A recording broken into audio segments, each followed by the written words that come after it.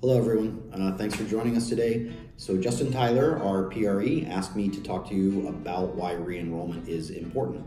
So, let me start by talking about why re enrollment is important for me uh, and for the school, and then how that impacts you. So, for me uh, personally, this is the point in time. I know that we've still got a lot of school year left, but this is the point in time for me when I'm already looking ahead to next year. I'm thinking about how many sections we're going to need in each grade level. And from that, I'm going to decide how many teachers that we need for each grade level, what resources we need for each grade level. So, as a school, this is the time when we're doing our, our planning and setting up our, our, our curriculum plan for the entire year for next year.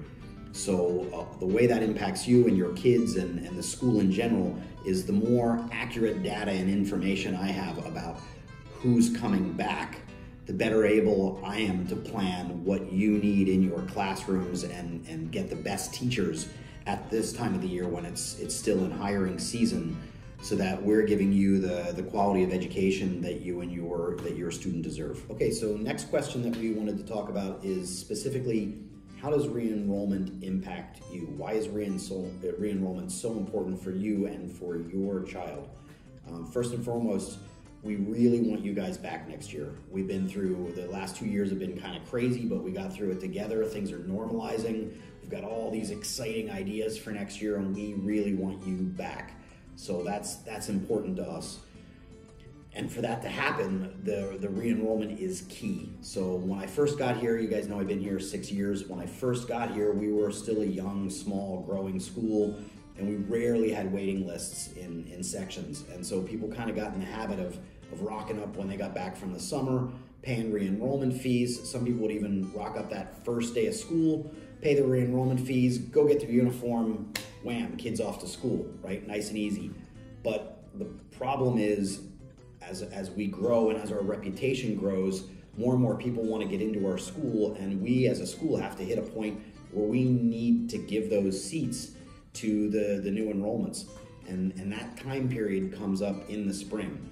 Uh, so at some point we have to start giving those seats away. And there's it's like a plane right? There's only so many seats in a classroom. You guys don't want me to put too many bodies in that classroom. There's only so many seats. And so if i got four sections that's a 100 seats. And I just really like it breaks my heart. I really don't want to go through the last two years in a row. We've had parents show up. Now we have sent you know numerous reminders, phone calls you name it. But I think maybe some people just don't believe that that seat could possibly be given away. They've been here for a while. But it breaks my heart. Every year I have somebody show up and say, "Hey, I'm back," and I'm I'm looking at like back in which grade? Third grade? I don't I don't I got I'm looking at my list. I don't have a seat for you in third grade, and you know parents are upset, kids are crying. I'm sometimes I'm crying, right? Like we just don't. I don't want to do that to a parent ever again, and so to to guarantee that doesn't happen to you or your child, pay the re-enrollment fee, please. Please pay the re-enrollment fees. Okay, and last question. Um, why do you get so many phone calls? Why do you get so many emails or SMSs? Why do you get a phone call from finance and you get another phone call from from admissions? Um, it, it, comes back to what we just said. I mean, there's that first part that we talked about that we really need that information to make sure we're planning the best academic program for you. That's that's important.